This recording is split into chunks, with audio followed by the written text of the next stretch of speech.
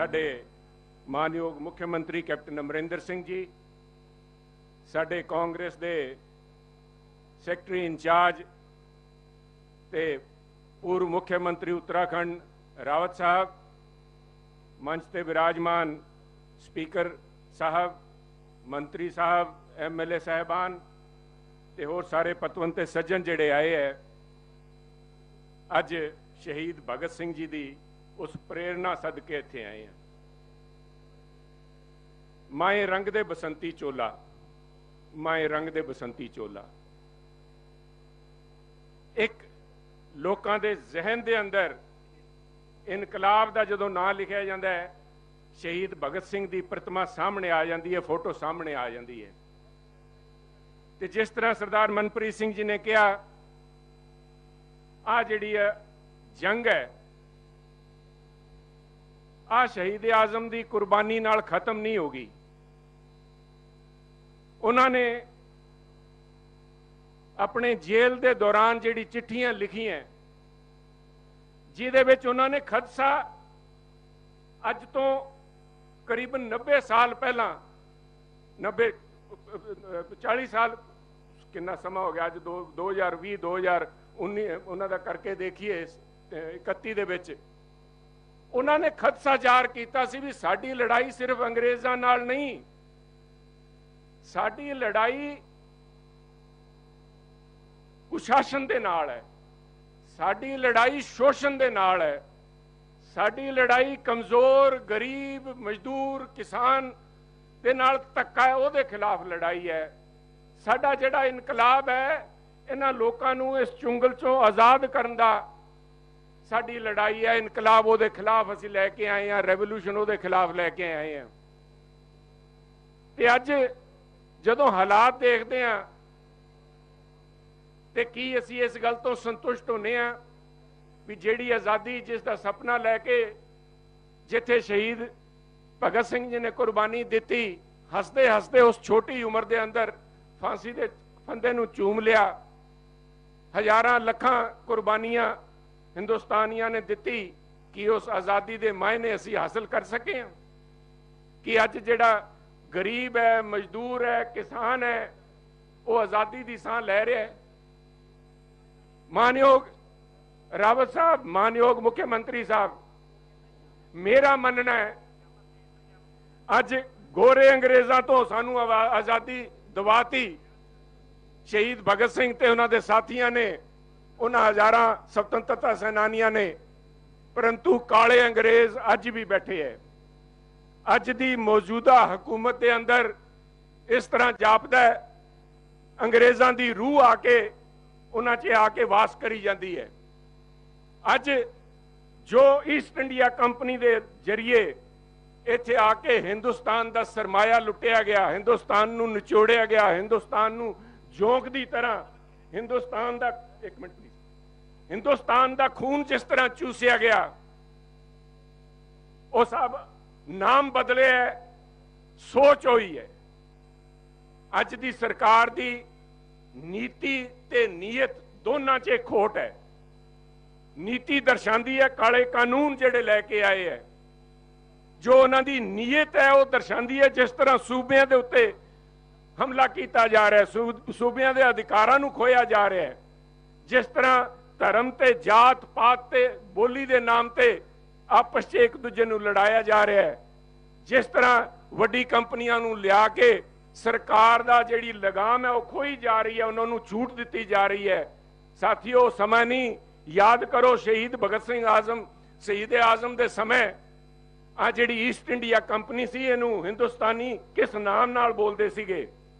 ਇਹਨੂੰ ਕਹਿੰਦੇ ਸੀ ਸਾਹਿਬ Bahadur company honourable East India company ਬਹਾਦੁਰ ਇਹ ਜਿਹੜੀ ਕੰਪਨੀਆਂ ਦੇ ਈਸਟ ਇੰਡੀਆ ਬਦਲ ਜਾਣਗੇ, ਨਾਮ ਬਦਲੇ ਜਾਣਗੇ, ਦੇਖਿਆ ਜਾਊਗਾ ਵੀ ਹਿੰਦੁਸਤਾਨ ਜਿਉਂਦਾ ਹੈ ਕਿ ਨਹੀਂ ਜਿਉਂਦਾ। ਨਾਮ ਦੀ ਜਿਉ ਜਿਉ ਰਹੂਗੀ, ਬਾਕੀ ਜਿਹੜੀ ਆਤਮਾ ਹੈ ਸਾਥੀਓ, ਉਹ ਕਿਸਾਨਾਂ ਦੇ ਉੱਤੇ ਅੱਜ ਉਹ ਕਾਲੀ ਆਤਮਾ ਵਾਪਸ ਆ ਕੇ ਖੂਨ ਚੂਸਣ ਦੀ ਕੋਸ਼ਿਸ਼ ਕਰ ਰਹੀ ਹੈ। ਅੱਜ ਜਿੱਥੇ ਅਸੀਂ ਸੰਕਲਪ ਲੈਣ ਆਏ ਆ ਆ ਕੋਈ ਮਾਮੂਲੀ ਲੜਾਈ ਨਹੀਂ ਆ ਲੜਾਈ ਬੜੀ ਲੰਬੀ ਚੱਲਣੀ ਹੈ ਸਾਹਿਬ। ਮੈਂ ਸਾਰੇ ਸਾਥੀਆਂ ਨੂੰ, ਸਾਡੇ ਐਮਐਲਏ ਸਾਹਿਬਾਨ, ਲੀਡਰ ਸਾਹਿਬਾਨ, ਮੁੱਖ ਮੰਤਰੀ ਸਾਹਿਬ ਬੜੀ ਅੱਛੀ ਤਰ੍ਹਾਂ ਸਮਝਦੇ ਐ, ਆ ਲੜਾਈ ਅੱਜ ਧਰਨੇ ਨਾਲ, ਸੰਕਲਪ ਨਾਲ, ਇਹ ਜਿਹੜਾ ਪਿਛਲੇ 4 ਮਹੀਨੇ ਤੋਂ ਹਿੰਦੁਸਤਾਨ ਦੇ ਅੰਦਰ ਤੇ ਖਾਸ ਤੌਰ ਤੇ ਪੰਜਾਬ ਤੇ ਹਰਿਆਣੇ ਦੇ ਅੰਦਰ ਜਿਹੜੀਆਂ ਸੜਕੀਆਂ, ਸੜਕਾਂ ਰੁਕੀਆਂ ਪਈਆਂ, ਇਹਦੇ ਨਾਲ ਨਿਬੜਨਾ ਨਹੀਂ ਸਾਹਿਬ। This is going to be a long drawn out battle ਸਾਨੂੰ ਸੰਕਲਪ ਇਸ ਕਰ ਦਾ ਲੈਣਾ ਹੈ ਵੀ ਅੱਜ ਇੱਥੇ ਫੁੱਲ ਮਾਲਾ ਚੜਾ ਕੇ ਇਹਨਾਂ ਦੇ ਸਾਹਮਣੇ ਮੱਥਾ ਟੇਕ ਕੇ ਆਪਾਂ ਗੱਲ ਨਿਬੜ ਜੂਗੀ। ਆ ਲੰਬੀ ਲੜਾਈ ਹੈ, ਇਹਦੇ ਵਾਸਤੇ ਕੁਰਬਾਨੀਆਂ ਵੀ ਕਰਨੀਆਂ ਪੈਣਗੀਆਂ। ਜਦੋਂ ਮੈਂ ਸ਼ਬਦ ਇਸਤੇਮਾਲ ਕਰਦਾ ਕੁਰਬਾਨੀ, ਮੈਨੂੰ ਇਸ ਗੱਲ ਦਾ ਬੜਾ ਸੰਕੋਚ ਹੁੰਦਾ ਹੈ ਵੀ ਸਾਡੇ ਕੁਝ ਪੰਜਾਬੀਆਂ ਨੇ ਇਸ ਕੁਰਬਾਨੀ ਨਾਮ ਨੂੰ ਬਦਨਾਮ ਕਰਤਾ, ਜਿਹੜੇ ਕੁਰਸੀ ਨੂੰ ਛੱਡਣਾ ਕੁਰਬਾਨੀ ਕਹਿੰਦੇ ਐ ਜਿਹੜੇ ਲੋਕ ਜ਼ਲਾਲਤ ਦੇ ਅੰਦਰ ਇੱਜ਼ਤ ਭਾਲਦੇ ਆ, ਜਲਾਲਤ ਦੇ ਅੰਦਰ ਸ਼ਹੀਦੀ ਭਾਲਦੇ ਆ, ਜਿਨ੍ਹਾਂ ਨੂੰ ਧੱਕੇ ਮਾਰ ਕੇ ਬਾਹਰ ਕੱਢਿਆ ਗਿਆ, ਉਹ ਅੱਜ ਆਪਣੇ ਆਪ ਨੂੰ ਸ਼ਹੀਦ ਦੇ ਤੌਰ ਤੇ ਇਹਨਾਂ ਸ਼ਹੀਦਾਂ ਦੇ ਨਾਮ ਨੂੰ ਬਦਨਾਮ ਕਰ ਰਹੇ ਆ। ਉਹਨਾਂ ਲੋਕਾਂ ਤੋਂ ਚੰਨੀ ਸਾਹਿਬ, ਮੈਂ ਗੁਸਤਾਖੀ ਕਰਨ ਲੱਗਿਆ। ਤੁਸੀਂ ਕਿਹਾ, ਆ ਜਿਹੜੇ ਪੰਜਾਬੀ ਪਾਰਟੀ, ਮੈਂ ਦਾ ਨਾਮ ਨਹੀਂ ਲੈਣਾ ਚਾਹੁੰਦਾ, ਇਸ ਪਾਵਨ ਸਥਾਨ ਤੇ ਖੜਾ ਹੋ ਕੇ। ਤੁਸੀਂ ਕਿਹਾ ਉਹ ਕਿਸਾਨਾਂ ਦੀ ਰਹਿਨੁਮਾਈ ਹਿੰਦੁਸਤਾਨ 'ਚ ਕਰ ਨਹੀਂ ਸਕਦੇ, ਕਿਉਂਕਿ ਉਹਨਾਂ ਕੋਲ ਇਨਫਰਾਸਟ੍ਰਕਚਰ ਹੈ ਨਹੀਂ। ਉਹਨਾਂ ਕੋਲ ਇੰਨਾ ਜੁਗਾੜ ਹੈ ਨਹੀਂ ਸਭ ਇਨਫਰਾਸਟ੍ਰਕਚਰ ਨਾਲ ਨਹੀਂ ਇਨਕਲਾਬ ਲਿਆ ਜਾਂਦਾ। ਨਾ ਕਿਸੇ ਜੁਗਾੜ ਨਾਲ ਆ ਸੱਤਾ ਦੇ ਤਖਤੇ ਬਦਲੇ ਜਾਂਦੇ ਐ।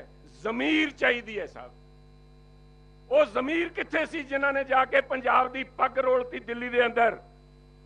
ਚਾਹੇ ਉਸ ਸਮੇਂ ਦੇ ਰਾਜ ਦੇ ਵਿੱਚ ਵਸ ਅੱਜ ਉੱਥੇ ਕਿਸੇ ਹੋਰ ਨਾਮ ਨਾਲ ਬੈਠਦੇ ਜਿਨ੍ਹਾਂ ਨੇ ਜਾ ਕੇ ਪੰਜਾਬ ਦੀ ਪੱਗ ਉੱਥੇ ਰੋਲਤੀ, ਪੰਜਾਬ ਦੀ ਇੱਜ਼ਤ ਨੂੰ ਵੱਟਾ ਲਾਇਆ ਪਰ ਇੱਥੇ ਕੁਰਬਾਨੀਆਂ ਦੇਣੀਆਂ ਪੈਣਗੀਆਂ। ਇੱਥੇ ਲੜਾਈ ਲੜਨੀ ਪਊਗੀ। ਆ ਜਿਹੜਾ ਕਿਸਾਨ ਦਾ ਇੱਕੋ ਇੱਕ ਉਹਨਾਂ ਕੋਲ ਹੌਸਲਾ ਸੀਗਾ ਵੀ ਅਸੀਂ ਫਸਲ ਉਗਾਈਏ ਤੇ ਸਾਡੀ ਫਸਲ ਜਿਹੜੀ ਸਰਕਾਰ ਹੈ, ਇੱਕ ਮਿੱਥੇ ਕੀਮਤ ਦੇ ਉੱਤੇ ਸਾਡੇ ਤੋਂ ਖਰੀਦੂਗੀ ਤੇ ਸਾਨੂੰ ਇਸ ਝਮੇਲੇ 'ਚ ਇਹਨਾਂ ਸੌਕਾਰੇ ਵੱਡੇ ਤਨਾਡਾਂ ਦੇ ਚੁੰਗਲ ਚੋਂ ਕੱਢੂਗੀ। ਅੱਜ ਉਹੀ ਇੱਕ ਜ਼ਿੰਮੇਵਾਰੀ ਜਿਹੜੀ ਸਰਕਾਰ, ਉਸ ਜ਼ਿੰਮੇਵਾਰੀ ਤੋਂ ਸਰਕਾਰ ਅੱਜ ਭੱਜ ਰਹੀ ਹੈ ਸਾਥੀਓ। ਇਹਦੇ ਕਰਕੇ ਆਪਾਂ ਨੂੰ ਸੰਕਲਪ ਲੈਣਾ ਪਊਗਾ। ਕੈਪਟਨ ਸਾਹਿਬ ਨੇ ਗੱਲ ਕਰਨੀ ਹੈ, ਕੈਪਟਨ ਸਾਹਿਬ ਕਿਸਾਨ ਦਾ ਦਰਦ ਸਮਝਦੇ ਹੈ। ਜੇ ਪਾਣੀ ਇਹਨਾਂ ਨੇ ਲੈ ਕੇ ਦਿੱਤਾ ਤੇ ਮੈਂ ਤੁਹਾਨੂੰ ਆ ਵੀ ਯਾਦ ਕਰਾਉਣਾ ਚਾਹਨਾ ਆ ਜਿਹੜੀ ਐਮਐਸਪੀ ਨਿਰਧਾਰਿਤ ਕੀਤੀ ਹੈ, ਖਰੀਦ ਨਿਰਧਾਰਿਤ ਕੀਤੀ ਹੈ, ਸਰਕਾਰੀ ਕਾਂਗਰਸ ਨੇ ਕੀਤੀ ਸੀ ਸਾਥੀਓ। ਤੇ ਜਿਵੇਂ ਪੰਜਾਬੀ 'ਚ ਕਹਾਵਤ ਹੈ, ਜਿਨ੍ਹਾਂ ਨੇ ਜੰਮੀਆਂ ਉਹ ਹੀ ਵਿਆਹਣਗੇ। ਜਿਨ੍ਹਾਂ ਨੇ ਜੰਮੀਆਂ ਉਹ ਹੀ ਵਿਆਹਣਗੇ, ਸਰਦਾਰ ਲਾਲ ਸਿੰਘ ਜੀ ਬੈਠੇ ਐ ਤੁਹਾਡੀ ਆ ਆਸ਼ੂ ਜੀ ਇੱਧਰ ਬੈਠੇ ਐ। ਤੁਸੀਂ ਜਿਸ ਤਰ੍ਹਾਂ ਖਰੀਦ ਕੀਤੀ ਹੈ ਪਿਛਲੇ ਕੈਪਟਨ ਸਾਹਿਬ ਇਸ ਗੱਲ ਤੋਂ ਜਾਣੇ ਜਾਂਦੇ ਐ। ਆ ਝੋਨਾ ਹੁਣ ਆਉਣ ਲੱਗਿਆ ਖਰੀਦ ਹੋਊਗੀ। ਪਰ ਇਸ ਗੱਲ ਦਾ ਭਰੋਸਾ ਮੈਂ ਸਮਝਦਾ ਕਾਂਗਰਸ ਪਾਰਟੀ ਦਵਾ ਸਕਦੀ ਹੈ ਵੀ ਅਸੀਂ ਸੁਨਿਸ਼ਚਿਤ ਕਰਾਂਗੇ ਵੀ ਆ ਹੌਲੀ ਹੌਲੀ ਕਰਕੇ ਸਾਡੇ ਤੋਂ ਆ ਜਿਹੜਾ ਭਰੋਸਾ ਖੋਇਆ ਨਹੀਂ ਜਾਊਗਾ। ਕਿਉਂਕਿ ਮੈਂ ਕਹਿਣਾ ਚਾਹਨਾ ਤੁਹਾਡੇ ਰਾਹੀਂ ਸਾਰਿਆਂ ਨੂੰ ਕਿਸਾਨਾਂ ਨੂੰ ਆਗਾਹ ਕਰਨਾ ਪਊਗਾ, ਮਿੱਠਾ ਜ਼ਹਿਰ ਦਿੱਤਾ ਹੈ ਆ ਮਿੱਠਾ ਜ਼ਹਿਰ ਇੱਕਦਮ ਅਸਰ ਨਹੀਂ ਹੋਣਾ। ਇਹਨਾਂ ਨੇ ਇਲੈਕਸ਼ਨ ਨਗਾ ਕੇ ਉਹਦੇ ਬਾਅਦ ਪੈਰ ਖਿੱਚਣਗੇ। ਇਸ ਕਰਕੇ ਆ ਲੜਾਈ ਲੰਬੀ ਚੱਲਣੀ ਹੈ ਤੇ ਕਾਂਗਰਸ ਪਾਰਟੀ ਅੱਜ ਐਦ ਕਰਦੀ ਹੈ ਵੀ ਅਸੀਂ ਜਿਹੜੀ ਆ ਪ੍ਰਥਾ ਚਾਲੂ ਕੀਤੀ ਹੈ ਐਮਐਸਪੀ ਦੀ ਤੇ ਸਰਕਾਰੀ ਖਰੀਦ ਐਂਡ ਨਾਟ ਓਨਲੀ ਸਰਕਾਰੀ ਖਰੀਦ ਓਪਨ ਐਂਡਡ ਸਰਕਾਰੀ ਖਰੀਦ ਸਾਹਿਬ ਇੱਕ ਇੱਕ ਦਾਣਾ ਜਿਹੜਾ ਮੰਡੀ 'ਚ ਆਊਗਾ ਉਹ ਚੱਕਾਂਗੇ। ਇੱਕ ਇੱਕ ਦਾਣਾ ਜਿਹੜਾ ਕਿਸਾਨ ਉਗਾਂਦਾ ਲੈ ਕੇ ਆਊਗਾ ਮੰਡੀ 'ਚ, ਉਹ ਸਰਕਾਰ ਚੱਕੂਗੀ ਇਸ ਗੱਲ ਦਾ ਭਰੋਸਾ ਕਾਂਗਰਸ ਪਾਰਟੀ ਦਿਵਾ ਸਕਦੀ ਹੈ। ਹੋਰ ਕਿਸੇ ਦੇ ਵੱਸ ਦਾ ਰੋਗ ਨਹੀਂ। ਇਸ ਕਰਕੇ ਅਸੀਂ ਅੱਜ ਸੰਕਲਪ ਲੈਣ ਆਏ ਆ ਅਸੀਂ ਉਮੀਦ ਕਰਦੇ ਆ ਵਾਹਿਗੁਰੂ ਮਿਹਰ ਕਰੂਗਾ। ਪੰਜਾਬੀਆਂ ਤੇ ਪੰਜਾਬੀਆਂ ਨੇ ਪਹਿਲਾਂ ਵੀ ਆਪਣੀ ਪੱਗ ਦੀ ਲਾਜ ਰੱਖੀ ਹੈ, ਹਿੰਦੁਸਤਾਨ ਦੀ ਲਾਜ ਰੱਖੀ ਹੈ। ਤੇ ਹੁਣ ਜਦੋਂ ਭੀੜ ਪਈ ਹੈ ਪੰਜਾਬ ਦੇ ਉੱਤੇ, ਕਿਉਂਕਿ ਇਕੱਲੇ ਕਿਸਾਨਾਂ ਦਾ ਨਹੀਂ, ਪੂਰੀ ਪੰਜਾਬ ਦੀ ਹੋਣ ਦਾ ਮਸਲਾ ਹੈ, ਵਾਹਿਗੁਰੂ ਮਿਹਰ ਕਰੂਗਾ, ਅਸੀਂ ਇਹਨਾਂ ਸ਼ਹੀਦਾਂ ਤੋਂ ਪ੍ਰੇਰਣਾ ਲੈ ਕੇ ਆਪਣੇ ਇਸ ਟੀਚੇ ਦੇ ਉੱਤੇ ਪੂਰੇ ਉਤਰਾਂਗੇ। ਜੈ ਹਿੰਦ।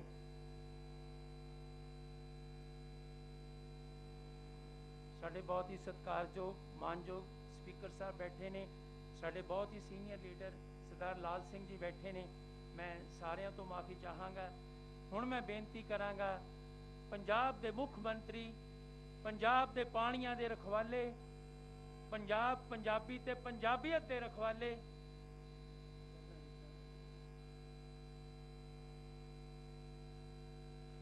ਮਾਨਯੋਗ ਮੁੱਖ ਮੰਤਰੀ ਕੈਪਟਨ ਅਮਰਿੰਦਰ ਸਿੰਘ ਜੀ, ਜਿਨ੍ਹਾਂ ਨੇ ਕਦੀ ਕਿਸੇ ਚੀਜ਼ ਦੀ ਪਰਵਾਹ ਨਹੀਂ ਕੀਤੀ ਪੰਜਾਬ ਦੀ ਖਾਤਰ, ਅੱਜ ਸੰਕਲਪ ਲੈਣ ਲਈ ਅੱਜ ਸ਼ਹੀਦ ਆਜ਼ਮ ਸਰਦਾਰ ਭਗਤ ਸਿੰਘ ਦੀ ਜਗ੍ਹਾ ਤੇ, ਜਿਹੜੀ ਕਿ ਸਾਡੀ ਵਿਰਾਸਤ ਹੈ ਜਿਨ੍ਹਾਂ ਨੇ ਕੁਰਬਾਨੀਆਂ ਦਿੱਤੀਆਂ, ਅੱਜ ਮਾਨਯੋਗ ਮੁੱਖ ਮੰਤਰੀ ਆਪਣੀ ਟੀਮ ਨਾਲ ਉੱਥੇ ਆਏ ਨੇ, ਸੰਕਲਪ ਲੈਣ ਲਈ ਆਪਣੇ ਵਿਚਾਰ ਸਾਂਝੇ ਕਰਨਗੇ ਮਾਨਯੋਗ ਮੁੱਖ ਮੰਤਰੀ ਕੈਪਟਨ ਅਮਰਿੰਦਰ ਸਿੰਘ।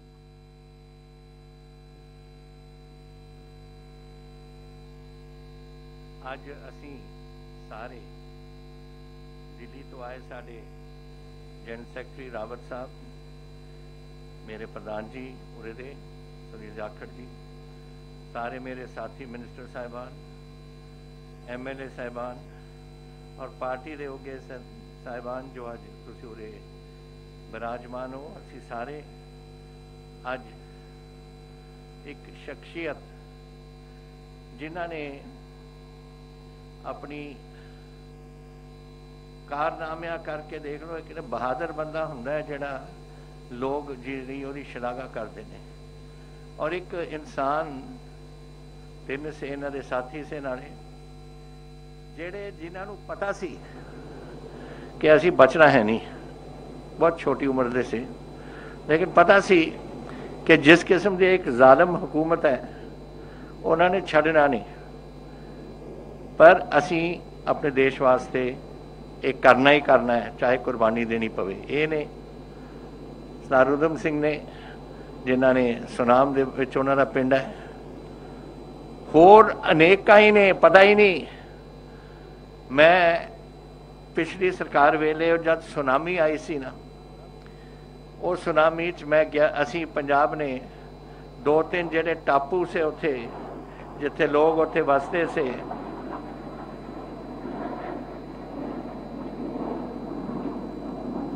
ਉਹ ਲੋਕ, ਉਹਨਾਂ ਦੇ ਸੁਨਾਮੀ ਨੇ ਉਹਨਾਂ ਦੇ ਘਰ ਲੈ ਗਏ, ਉਹਨਾਂ ਦੇ ਗਿਲਜੇ ਲੈ ਗਏ, ਗੁਰਦੁਆਰੇ ਸਾਹਿਬ ਵੀ ਸੇ ਕੁਝ ਉੱਥੇ ਮੰਦਿਰ ਸੇ, ਸਭ ਕੁਝ ਹੀ ਸਵਾਹ ਕਰਤਾ ਸੀ। ਤੇ ਪੰਜਾਬ ਨੇ ਦੋ ਤਿੰਨ ਇਹ ਟਾਪੂ ਦਿੱਤੇ ਕਿ ਅਸੀਂ ਹਰ ਸੂਬੇ ਨੇ ਲਿੱਤੇ, ਪੰਜਾਬ ਨੇ ਵੀ ਦਿੱਤੇ। ਔਰ ਉਹ ਮੈਨੂੰ ਮੌਕਾ ਮਿਲ ਗਿਆ ਕਿ ਮੈਂ ਐਂਡਮਨ ਨਿਕੋਬਾਰ ਆਈਲੈਂਡ 'ਚ ਉੱਥੇ ਜਾ ਸਕਾਂ। ਔਰ ਉੱਥੇ ਉਹ ਮੌਕਾ ਇਹ ਮਿਲ ਗਿਆ ਕਿ ਸੈਲੂਲਰ ਜੇਲ ਹੈ ਉੱਥੇ। ਇੱਕ ਗੋਲ ਕਿਸਮ ਦੀ ਜੇਲ੍ਹ ਛੋਟੀ ਛੋਟੀ ਕੋਠੜੀਆਂ। ਮੇਰਾ ਖਿਆਲ 6 ਫੁੱਟ ਬਾਈ 8 ਫੁੱਟ ਜਾਂ 4 ਫੁੱਟ ਬਾਈ 8 ਫੁੱਟ ਛੋਟੀ ਜੀ ਸੀ, ਜਿੱਥੇ ਕਾਲਾ ਪਾਣੀ ਦੀ ਸਜ਼ਾ ਮਿਲਦੀ ਸੀ। ਜਿਹੜੇ ਇੱਥੇ ਦੇਸ਼ ਦੇ ਵਾਸਤੇ ਨਾਰਾ ਮਾਰਦੇ ਸੀ, ਉਹਨਾਂ ਨੂੰ ਫੜ ਕੇ ਉੱਥੇ ਲੈ ਜਾਂਦੇ, ਕਾਲਾ ਪਾਣੀ ਦੀ ਸਜ਼ਾ। ਉੱਥੇ ਹੀ ਰਹਿੰਦੇ, ਉੱਥੇ ਹੀ ਮਰਦੇ। ਔਰ ਜਦ ਮਰਦੇ, ਕੋਈ ਉੱਥੇ ਜਗ੍ਹਾ ਨਹੀਂ ਦਫਨਾਉਣ ਦੀ, ਕਿਸੇ ਨੂੰ ਜਾਂ ਸੰਸਕਾਰ ਕਰਨ ਦੀ, ਸਾਰਿਆਂ ਨੂੰ ਸਮੁੰਦਰ ਦੇ ਵਿੱਚ। ਔਰ ਜਦ ਮੈਂ ਗਿਆ ਉੱਥੇ ਤੇ ਦਫ਼ਤਰ 'ਚ, ਉੱਥੇ ਬੋਰਡ ਲੱਗੇ ਹੋਏ ਸੀ। ਲੋਕਾਂ ਦੇ ਜਿਹੜੇ ਇੱਥੇ, ਉਹਨਾਂ ਨੇ ਆਪਣੇ ਕਾਲੇ ਪਾਣੀ ਦੀ ਸਜ਼ਾ ਕੱਟੀ ਸੀ। ਔਰ ਤੁਹਾਨੂੰ ਹੈਰਾਨੀ ਹੋਏਗੀ, ਔਰ ਤੁਹਾਨੂੰ ਵੀ ਨਹੀਂ, ਅਗਰ ਤੁਸੀਂ ਵੀ ਜਾਓ, ਤੁਹਾਨੂੰ ਵੀ ਨਹੀਂ ਪਤਾ ਹੋਣਾ। ਸੈਂਕੜੇ ਨਾਮ ਜਿਹੜੇ ਆਪਾਂ ਪਛਾਣਦੇ ਹੀ ਨਹੀਂ ਕਿ ਕੌਣ ਸੀ। ਇਹ ਉਹ ਲੋਕ ਸੇ ਜਿਨ੍ਹਾਂ ਨੇ ਕਦੇ ਦੱਸਿਆ ਨਹੀਂ ਦੁਨੀਆ ਨੂੰ ਕਿ ਅਸੀਂ ਕੀ ਕਰਨ ਲੱਗੇ ਆ ਪਰ ਕੀਤਾ ਆਪਣੇ ਦੇਸ਼ ਵਾਸਤੇ, ਆਜ਼ਾਦੀ ਲਿਆਉਣ ਵਾਸਤੇ। ਜਦ ਉੱਥੇ ਬੰਗਾਲੀ ਬੜੇ ਨਾਮ, ਹਰ ਹਰ ਉੱਥੇ ਮਜ਼ਹਬ ਦੇ ਜਾਂ ਹਰ ਆਪਣੇ ਸੂਬੇ ਦੇ ਨਾਮ ਔਰ ਅਨੇਕਾਂ ਹੀ ਪੰਜਾਬ ਦੇ ਨਾਮ। ਲੇਕਿਨ ਮੈਨੂੰ ਨਹੀਂ ਪਤਾ ਸੀ ਔਰ ਮੈਨੂੰ ਸ਼ਰਮ ਆਈ ਕਿ ਮੈਂ ਆ ਗਿਆ ਇਹ ਜੀ ਜਗ੍ਹਾ ਔਰ ਮੈਨੂੰ ਇਹ ਨਹੀਂ ਪਤਾ ਕਿ ਇਹ ਕਿਹਦਾ ਨਾਮ ਹੈ, ਕੋਈ ਮਹਿੰਦਰ ਸਿੰਘ ਸੀ, ਕੋਈ ਹੋਰ ਸੀ ਕਿੱਥੋਂ ਦੇ ਰਹਿਣ ਵਾਲੇ ਸੀ, ਕਿੱਥੋਂ ਦੇ ਨਹੀਂ ਰਹਿਣ ਵਾਲੇ, ਕਿਸੇ ਨੂੰ ਨਹੀਂ ਪਤਾ। ਇਸ ਕਿਸਮ ਦਾ ਇੱਕ ਸੀ ਖੂਨ ਇਹ ਜੀ ਸ਼ਖਸੀਅਤਾਂ ਦੇ ਵਿੱਚ ਕਿ ਆਪਣਾ ਦੇਸ਼ ਨੂੰ ਅਸੀਂ ਕਰਨਾ ਚਾਹੇ ਸਾਨੂੰ ਕੁਝ ਹੋ ਜਾਏ ਅੱਜ ਮਨਪ੍ਰੀਤ ਜੀ ਨੇ ਦੱਸਿਆ ਇਹਨਾਂ ਬਾਰੇ, ਸੁਨੀਲ ਜੀ ਨੇ ਦੱਸਿਆ ਇਹਨਾਂ ਬਾਰੇ। ਔਰ ਅੱਜ ਜ਼ਮਾਨੇ ਬਦਲ ਗਏ, ਲੇਕਿਨ ਇੱਥੇ ਵੀ ਜਿਹੜਾ ਕੁਝ ਹੋ ਰਿਹਾ ਸਾਡੇ ਦੇਸ਼ ਦੇ ਵਿੱਚ ਇਹ ਠੀਕ ਹੋ ਨਹੀਂ ਹੋ ਰਿਹਾ। ਇੱਕੋ ਗੱਲ ਇਹ ਹੈ। ਇਹ ਭੁੱਲ ਜਾਂਦੇ ਨੇ ਦਿੱਲੀ ਵਾਲੇ ਕਿਉਂਕਿ ਉਹ ਸ਼ਾਇਦ ਆਪ ਖੇਤੀਬਾੜੀ ਨਹੀਂ ਲਾਉਂਦੇ। ਉਹਨਾਂ ਨੂੰ ਪਤਾ ਨਹੀਂ ਕਿ ਝੋਨਾ ਕੈਸੇ ਬੀਜਣਾ ਹੈ, ਕਣਕ ਕੈਸੇ ਬੀਜਣੀ ਹੈ, ਜਾਂ ਕੋਈ ਸਬਜ਼ੀਆਂ ਕੈਸੇ ਬੀਜਣੀਆਂ ਨੇ। ਤਾਂ ਉਹਨਾਂ ਨੂੰ ਇਹ ਨਹੀਂ ਪਤਾ ਕਿ ਪੰਜਾਬ ਦੇ ਵਿੱਚ ਔਰ ਇਹ ਹੋਰ ਸੂਬਿਆਂ ਵਿੱਚ ਵੀ ਜਿੱਥੇ ਖੇਤੀਬਾੜੀ ਚੱਲਦੀ ਹੈ, ਸਾਰੇ ਹਿੰਦੁਸਤਾਨ ਚੱਲਦੀ ਹੈ ਲੇਕਿਨ ਜਿਹੜੀ ਵੱਡੇ ਪੈਮਾਨੇ ਦੀ ਚੱਲਦੀ ਹੈ ਔਰ ਜਿੱਥੇ ਐਮਐਸਪੀ ਹੈ ਜਿੱਥੇ ਐਫਸੀਆਈ ਆਉਂਦੀ ਹੈ ਉਹਦੇ ਵਿੱਚ 75% ਦੇ ਕਰੀਬ ਪੰਜਾਬੀ ਅੱਜ 5 ਕਿੱਲੇ ਦੇ ਘੱਟ ਮਾਲਕ ਨੇ। ਉਸ ਦਾ ਅੱਧਾ 2 ਕਿੱਲੇ ਦੇ ਘੱਟ ਮਾਲਕ ਨੇ। ਛੋਟੇ, ਛੋਟੀ ਜ਼ਮੀਨਾਂ ਵਾਲੇ, ਜਿਹੜੇ ਇਹਨਾਂ ਨੂੰ ਪਤਾ ਸੀ, ਬੜੀ ਮਿਹਨਤ, ਕਣਕ ਦੀ ਧੁੱਪ ਦੇ ਵਿੱਚ, ਠੰਡ ਦੇ ਵਿੱਚ ਆਪਣੀ ਉੱਥੇ ਮਿਹਨਤ ਕਰਦੇ ਸੀ, ਦੋ ਦੋ ਜਾਂ ਡੇਢ ਡੇਢ ਕਿੱਲਾ ਜਾਂ ਦੋ ਕਿੱਲੇ ਜਾਂ ਚਾਰ ਤਿੰਨ ਕਿੱਲਿਆਂ ਦੇ ਵਿੱਚ ਆਪਣੇ ਟੱਬਰਾਂ ਨੂੰ ਪਾਲਣ ਵਾਸਤੇ। ਉਹਨਾਂ ਦੀ ਵੀ ਤੁਸੀਂ ਰੋਜ਼ੀ ਖਿੱਚਣ ਨੂੰ, ਖਤਮ ਕਰਨ ਨੂੰ ਤਿਆਰ ਹੋ। ਕੀ ਤੁਹਾਨੂੰ ਤਕਲੀਫ ਹੋ ਗਈ ਸੀ ਕਿ ਅਗਰ ਐਫਸੀਆਈ ਖਰੀਦ ਕਰਦੀ ਔਰ ਐਮਐਸਪੀ ਤੁਸੀਂ ਰੱਖਦੇ, ਉਹ ਕਿਸਾਨ ਨੂੰ, ਗਰੀਬ ਨੂੰ ਇਹਨਾਂ ਦਾ ਪਤਾ ਹੋਣਾ ਸੀ ਕਿ ਮੈਨੂੰ ਕਿੰਨੀ ਕਮਾਈ ਹੋਣੀ ਹੈ ਇਸ ਸਾਲ ਤਾਂ ਕਿ ਮੈਂ ਆਪਣੇ ਬੱਚਿਆਂ ਦੀ ਰੋਟੀ ਖਵਾ ਸਕਦਾ। ਉਹ ਵੀ ਨਹੀਂ ਤੁਸੀਂ ਕਰਨੀ। ਔਰ ਐਫਸੀਆਈ ਤੋਂ ਇਹ ਭੁੱਲ ਗਏ ਲੋਕ, ਗਰੀਬ ਜਨਤਾ ਵੀ ਉਰੇ ਵਸਦੀ ਹੈ, ਜੋ ਪਬਲਿਕ ਡਿਸਟ੍ਰੀਬਿਊਸ਼ਨ ਸਿਸਟਮ ਦੇ ਰਾਹੀਂ ਉਹਨਾਂ ਨੂੰ ਅੰਨ ਮਿਲਦਾ ਹੈ। ਇਹ ਐਫਸੀਆਈ ਤੋਂ ਜੋ ਖਰੀਦ ਹੁੰਦੀ ਸੀ, ਫਿਰ ਐਫਸੀਆਈ ਨੂੰ ਸਬਸਿਡਾਈਜ਼ ਕਰਕੇ ਉਹ ਗਰੀਬਾਂ ਨੂੰ ਪੀਡੀਐਸ ਦੇ ਸਿਸਟਮ ਦੇ ਰਾਹੀਂ ਉਹਨਾਂ ਨੂੰ ਦਿੰਦੇ ਸੀ ਖਾਣ ਵਾਸਤੇ, ਜ਼ਿੰਦਗੀ ਬਤਾਉਣ ਵਾਸਤੇ, ਖਾਣ ਵਾਸਤੇ ਕੀ ਜ਼ਿੰਦਗੀਆਂ ਉਹਨਾਂ ਦੀ ਬਚਦੀਆਂ ਸੀ ਉਸ ਦੇ ਨਾਲ ਪਬਲਿਕ ਡਿਸਟ੍ਰੀਬਿਊਸ਼ਨ ਸਿਸਟਮ ਨਾਲ। ਹੁਣ ਅਗਰ ਤੁਸੀਂ ਐਫਸੀਆਈ ਨਹੀਂ ਛੱਡੀ ਔਰ ਕੋਈ ਵੱਡਾ ਕਾਰੋਬਾਰ ਵਾਲਾ ਆ ਗਿਆ ਖਰੀਦਣ, ਉਹ ਪੀਡੀਐਸ ਇਹ ਦੇਊਗਾ ਪੀਡੀਐਸ ਕੌਣ ਦੇਊਗਾ ਪੀਡੀਐਸ ਕੌਣ ਦੇਊਗਾ ਗਰੀਬਾਂ ਨੂੰ ਜੋ ਉਹਨਾਂ ਨੂੰ ਹਰ ਸਾਲ ਇਹਨਾਂ ਨੂੰ ਹਰ ਹਰ ਮਹੀਨੇ ਇਹਨਾਂ ਨੂੰ ਫ੍ਰੀ ਕਣਕ ਮਿਲਦੀ ਹੈ, ਕਿੱਥੋਂ ਆਊਗੀ? ਉਹਦਾ ਵੀ ਨਹੀਂ ਇਹਨਾਂ ਨੇ ਸੋਚਿਆ ਕਿ ਪਬਲਿਕ ਡਿਸਟ੍ਰੀਬਿਊਸ਼ਨ ਸਿਸਟਮ ਵੀ ਔਰ ਸਾਡੀ ਐਫਸੀਆਈ ਦਾ ਜਿਹੜਾ, ਜਿਹੜੀ ਖਰੀਦ ਸੀ ਐਮਐਸਪੀ ਵੀ ਸਭ ਕੁਝ ਇੱਕ ਇੱਕ ਦਸਕਤ ਦੇ ਨਾਲ ਸਭ ਸਮਾਪਤੀ ਕਰ ਇਹਨੇ ਲੋਕ ਹੁਣ ਕਹਿੰਦੇ ਨੇ ਇੱਥੇ ਇੱਥੇ ਰੌਲਾ ਪਾਉਣਗੇ, ਪੰਜਾਬ ਵਾਲੇ ਬੜੇ ਕਿਉਂ ਰੌਲਾ ਪਾਉਂਦੇ ਨੇ? ਤੁਹਾਨੂੰ ਪਤਾ ਨਹੀਂ ਕਿ ਰੌਲਾ ਪੈਣਾ ਸੀ, ਕਿਸ ਕਿਸਮ ਦੇ ਤੁਸੀਂ ਸਿਆਸਤਦਾਨ ਹੋ? ਤੁਹਾਨੂੰ ਪਤਾ ਨਹੀਂ ਕਿ ਇੱਥੇ ਗਰੀਬ ਇੱਥੇ ਨਹੀਂ ਵਸੇ ਨੇ ਛੋਟੀ ਕਿਸਾਨੀ ਹੈ। ਔਰ ਇਹ ਛੋਟੀ ਕਿਸਾਨੀ ਦੇਸ਼ ਨੂੰ ਅੰਨ ਖਵਾਉਂਦੀ ਸੀ। 60 ਸਾਲ ਤੋਂ ਇਹ ਫੂਡ ਕਾਰਪੋਰੇਸ਼ਨ ਚੱਲ ਰਹੀ ਔਰ 60 ਸਾਲ ਤੋਂ ਖਰੀਦ ਹੁੰਦੀ ਸੀ ਔਰ ਸਾਡੇ ਅੰਨ ਦੇ ਭੰਡਾਰ ਦੇਸ਼ ਦੇ ਇਹ ਪਾਉਂਦੇ ਸੀ, ਇਹ ਗਰੀਬ ਜਿਹੜੇ ਸਾਡੇ ਪੰਜਾਬ ਦੇ ਕਿਸਾਨ ਨੇ, ਇਹ ਭਰਦੇ ਸੀ। ਭੁੱਲ ਜਾਂਦੇ ਹੋ ਤੁਸੀਂ ਇਹਨਾਂ ਨੂੰ? ਜਦ ਲੋੜ ਪੈਂਦੀ ਹੈ ਕਰੋ, ਜਦ ਲੋੜ ਨਹੀਂ ਪੈਂਦੀ ਫਿਰ ਅਡਾਨੀ ਵਰਗੇ ਬੰਦਿਆਂ ਨੂੰ ਅੱਗੇ ਕਰ ਦਿਓ ਕਿ ਉਹ ਖਰੀਦਣ ਜੀ, ਉਹ ਭੇਜਣ ਬਾਹਰ। ਅਡਾਨੀ ਦੇਊਗਾ ਇੱਕ ਪੀਡੀਐਸ ਸਿਸਟਮ 'ਚ। ਅਗਰ ਉਹ ਸਾਰਾ ਖਰੀਦੂ, ਅਡਾਨੀ ਹੋਏ ਜਾਂ ਕੋਈ ਹੋਰ ਹੈ ਜੇ ਬੰਦਾ ਹੋਏ ਉਹ ਖਰੀਦ ਕੇ ਜਦੋਂ ਖਰੀਦੂਗਾ, ਕਣਕ ਜਾਂ ਝੋਨਾ, ਜੋ ਕੁਝ ਕਰ ਰਹੇ ਨੇ, ਔਰ ਜਿਹੜਾ ਹਿੱਸਾ ਹੋਣਾ ਚਾਹੀਦਾ ਪੀਡੀਐਸ ਤੇ ਰਾਹੀਂ, ਗਰੀਬਾਂ ਵਾਸਤੇ, ਰੋਟੀ ਖਾਣ ਵਾਸਤੇ, ਉਹ ਦੇਊਗਾ? ਫਿਰ ਕੌਣ ਦੇਊਗਾ? ਕਿੱਥੋਂ ਲਿਆਉਗੀ ਗਵਰਨਮੈਂਟ ਆਫ ਇੰਡੀਆ ਕਣਕ? ਉਹਨਾਂ ਦਾ ਸਟੋਰੇਜ ਕਪੈਸਿਟੀ ਦਾ ਸਿਰਫ ਫੂਡ ਕਾਰਪੋਰੇਸ਼ਨ ਆਫ ਇੰਡੀਆ ਸੀ। ਉਹ ਤਾਂ ਤੁਸੀਂ ਚੱਕ ਦੇਣੀ ਹੈ। ਇਹ ਜਦੋਂ ਇਹ ਕਦਮ ਉਠਾਉਂਦੇ ਨੇ ਨਾ, ਕਦਮ ਚੱਕਿਆ ਤੁਸੀਂ ਪਹਿਲਾਂ ਤੁਸੀਂ ਕਹਿੰਦੇ ਕਿ ਸਾਡੇ ਪੰਜਾਬ ਨੂੰ ਝੂਠ ਬੋਲਦਾ ਹੈ ਜਿਹੜਾ ਐਗਰੀਕਲਚਰ ਮਿਨਿਸਟਰ ਤੋਮਰ ਉੱਥੇ ਲੋਕ ਸਭਾ 'ਚ ਮੈਂ ਇਹਦੀ ਸਪੀਚ ਸੁਣ ਰਿਹਾ ਸੀ ਕਹਿੰਦਾ ਕਿ ਪੰਜਾਬ ਨੇ इसमें हाँ में हाँ मिलाई थी कितने मिलाई सी ਅਸੀਂ ਜਦੋਂ ਇਹ ਕਮੇਟੀ ਬਿਠਾਈ ਸੀ ਇਹ ਦੇਖਣ ਵਾਸਤੇ ਪੰਜਾਬ ਉਸ ਕਮੇਟੀ ਦਾ ਮੈਂਬਰ ਵੀ ਨਹੀਂ ਸੀ ਮੈਨੂੰ ਲਿਖਣਾ ਪਿਆ ਪ੍ਰਧਾਨ ਮੰਤਰੀ ਨੂੰ ਕਿ 50% ਇਹ 2% ਪੰਜਾਬੀ 50% ਦੇਸ਼ ਦਾ ਅੰਡਾਰ ਭਰਦੇ ਨੇ। ਸਾਨੂੰ ਕਿਉਂ ਨਹੀਂ ਮੈਂਬਰ ਬਣਾਇਆ ਤੁਸੀਂ ਕਮੇਟੀ ਦਾ? ਉਦੋਂ ਇਹਨਾਂ ਦੀ ਇੱਕ ਕਮੇਟੀ ਦੀ ਮੀਟਿੰਗ ਹੋ ਚੁੱਕੀ ਸੀ।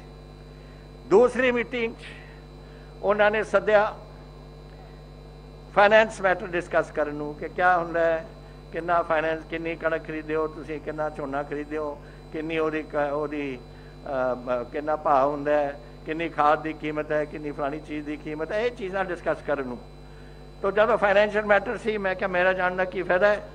ਐਫਐਮ ਸਾਹਿਬ ਨੂੰ ਮਨਪ੍ਰੀਤ ਬਾਦਲ ਜੀ ਨੂੰ ਮੈਂ ਭੇਜਦਾ ਇਹਨਾਂ ਨੇ ਉੱਥੇ ਆંકੜੇ ਦੇਤੇ, ਸਾਰੇ ਛਪੇ ਹੋਏ ਨੇ ਸਭ ਕੁਝ ਔਰ ਤੀਸਰੀ ਮੀਟਿੰਗ ਉਹਨਾਂ ਨੇ ਸਦੀ ਅਫਸਰਾਂ ਦੀ। ਸਾਡਾ ਡਾਇਰੈਕਟਰ ਐਗਰੀਕਲਚਰ ਗਿਆ।